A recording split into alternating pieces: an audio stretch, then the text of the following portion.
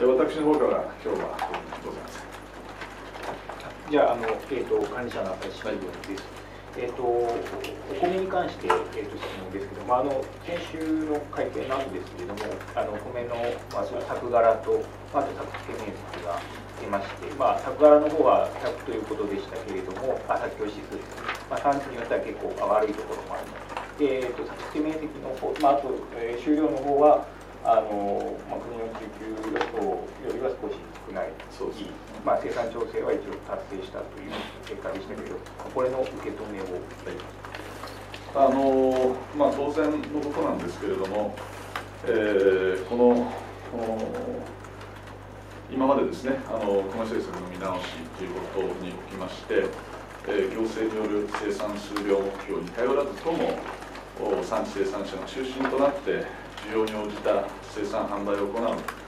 えー、そういうことができるようにということであの努力をしてきたわけでありまして、まあ、そのために国としては環境整備として、えー、きめ細かい情報提供を進めて、えー、産地生産者に対して主体的な、まあ、判断を促してきたというところで、えー、あります。まあ、これらの結果産地生産者において、まあ、それぞれの販売状況と踏まえてまあ、何をどう作成するかといった判断がなされてですね、えー、そして主食用以外の作物に、えー、取り組まれたというようなことからですね、まあ、3年連続で、えー、主食用米の超過作付けが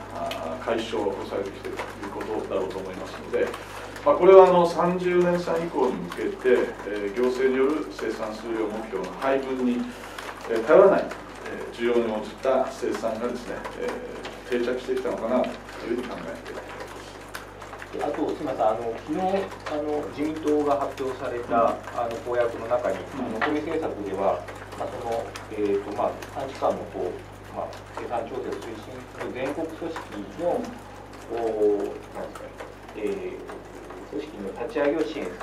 という内容が盛り込まれましたけれども、まあ、この前、以前、大臣とその少しあの全国組織の必要性に対しては疑問視するような発言もありましたけど、この与党の公約についてはどういうふうですか？あの以前の私の発言はですね、あの全国組織が何をやるのかっていうのも全くわからない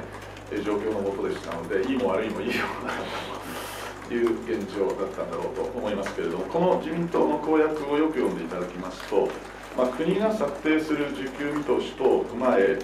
生産者や集荷業者団体が中心となって円滑に需要に応じた生産が行えるよう関係者の主体的な取り組みを促す全国的な推進組織の立ち上げを支援しますとそのように記載されておりますので、まあ、我々が行っている米政策見直しの趣旨は行政による生産数量目標の配分に頼らずとも生産者が中心となって需要に応じた生産を行うということでありますので、この公約における全国組織というのは関係者の主体的な取り組みを促すというものでありますので、まあ、私どもが進めている米政策の見直しとは、え、矛盾はしてないんじゃないかなというふうに考えますけれども。農林水産省としては、その全国組織の立ち上げに関して、今後、何らかこう関わりとかっていう持っていかれるお考えはあるんでしょうまだ今の時点では全く白紙ですけれども、まあ、国が関与するっていうことは、あの我々としてはしないということをずっと申し上げてきているところなので、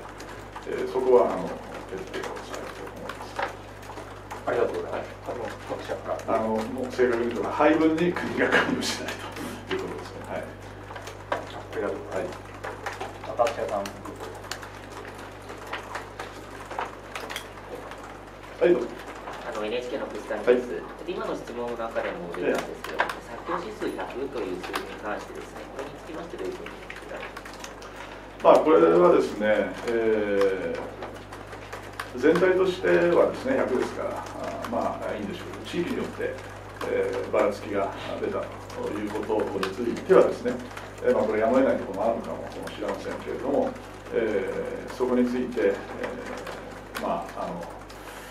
えー原因というか、よく調べてですね、えー、いかなくちゃいけないなというふうに思っておりますけど、全体としての100というのは、まあ、よくも悪くもないということだろうと思います。